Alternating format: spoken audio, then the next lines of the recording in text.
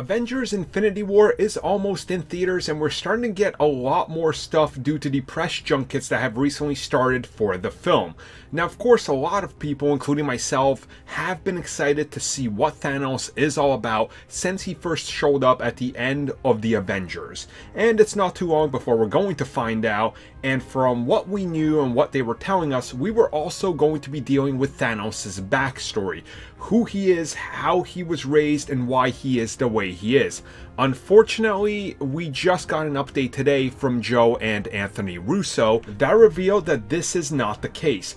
Thanos' backstory has been cut. What they say is, and I quote, we were considering showing Thanos' backstory, but ultimately felt it wasn't necessary for the movie. But then after this, when they figured they would probably get backlash by confirming this, they did say, and I quote, Infinity War is still told from Thanos' point of view. Now, obviously, this is rather interesting, right? Because when you look at the most recent trailer, you quite clearly get a good amount of Thanos and his history because we see him and like him getting Gamora when she's young. We see him walking with a young child. We definitely see flashbacks, and that's his backstory. So, were elements of this actually cut after the trailer was already out? Because that would be disappointing, right? We don't want that.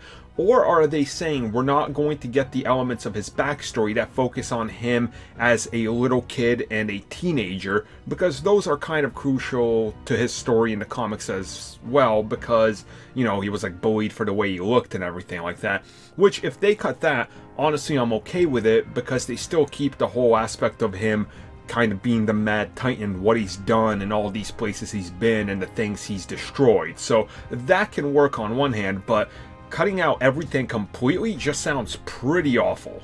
And there's no way they ended up shooting all of this and getting it done for the trailer and then just end up cutting out. So I'm willing to bet that what they cut is exactly what they're saying and what I'm saying, and that's just the pure backstory, like all of it. We're still gonna get a good part of it, but it's just not as much as we would have. You guys, let me know how you feel about this. I know there's going to be a lot of people mad, which is unfortunate, but hopefully he still ends up being a good villain.